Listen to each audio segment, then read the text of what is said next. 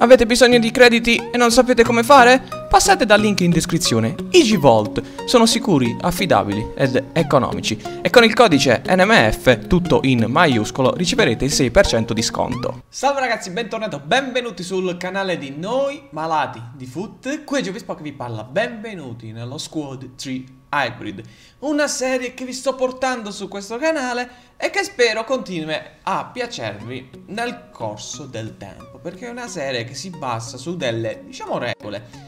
Ci vogliono tre giocatori chiavi di cui almeno devono esserci, diciamo così, due campionati. Quindi se abbiamo uno Serie A possiamo averne un altro Serie A, però l'altro dovrà essere Liga 1, MLS, Liga Nosa, eccetera, eccetera, eccetera. Ed è una regola semplicissima.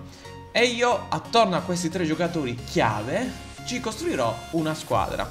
Che poi, ovviamente, vi potrei o meno consigliare e vi potrei dire cosa sfruttare o meno.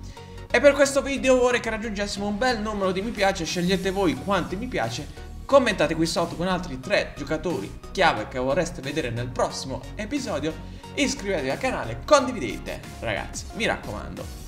E i tre giocatori che ho scelto per questa serie, per questo episodio più che altro, sono Ibrahimovic, Joao Cancelo e Chiellini. Sono frutto di un commento lasciato nello scorso video e che ha ricevuto un numero di mi piace, non so, 5, non lo so ragazzi, non mi ricordo. Allora, il modulo che ho scelto, ragazzi è la seconda volta che registro, quindi so già il modulo che devo scegliere, è il 451 quello con i trequartisti, il centrocampista centrale esterno e la difesa a 4. Ovviamente in difesa mettiamo Chiellini, Gio Cancelo, in attacco mettiamo Ibra e possiamo mettere tipo un Dos Santos qui come trequartista, anche se comunque non è proprio così bello da vedere perché le statistiche eh, fanno abbastanza gagare, ma vi consiglierei a questo punto di mettere lui, fratello da 77, sono due fratelli 77 di rating Qua possiamo mettere Alessandrini nella sua versione special, ragazzi, Alessandrini, oppure anche Vela, se avete sbloccato Vela. Vediamo un po' se abbiamo anche mettendo Vela un 9 d'intesa. No, purtroppo no. Anzi sì, assolutamente sì, possiamo mettere un Vela 87, che potrà essere forse più interessante di Alessandrini. Però quelle volte in cui ho incontrato Alessandrini incontro è stato sempre un po' fastidioso, un po' punzecchiava, quindi io a questo punto vi consiglio di metterci Alessandrini, ragazzi.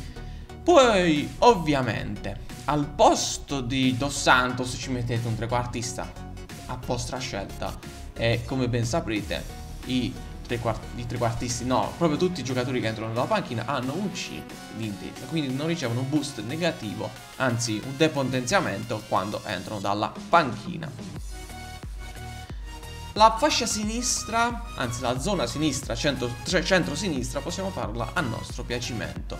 Io ad esempio potrei metterci, mm, tipo, stavo pensando a Goats Flashback perché non tanto lo chiedono, non è fortissimo, però ragazzi ci, se la cavicchia dai. Se la cavicchia qui possiamo mettere un Royce, ad esempio Royce esterno con 85 di rating, abbiamo anche la versione 89 che è 89 appunto ed è esterno. E qua possiamo mettere eh, tranquillamente anche un Alexandro se mettiamo un'altra difesa. Però secondo me no dai cambiamo mettiamo un Schultz. Che ho trovato nei pick che non ho selezionato non ho in squadra cioè l'ho trovato ma non l'ho preso praticamente. Qua possiamo mettere un Emre Chan che fa intesa con Goods e con eh, Chiellini. Qua un Ta ci sta secondo me se si vuole muovere magari Taha. E importa importa. Sinceramente Trap non mi ha convinto più di tanto.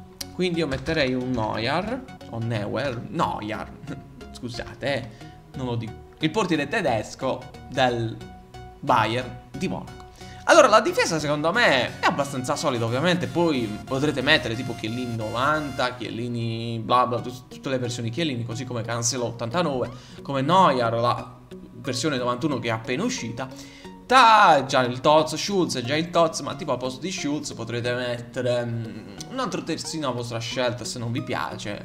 Però ragazzi questo Schulz non è male, anzi per quelle statistiche è molto interessante, il prezzo non lo ricordo, vediamo se lo vediamo insieme.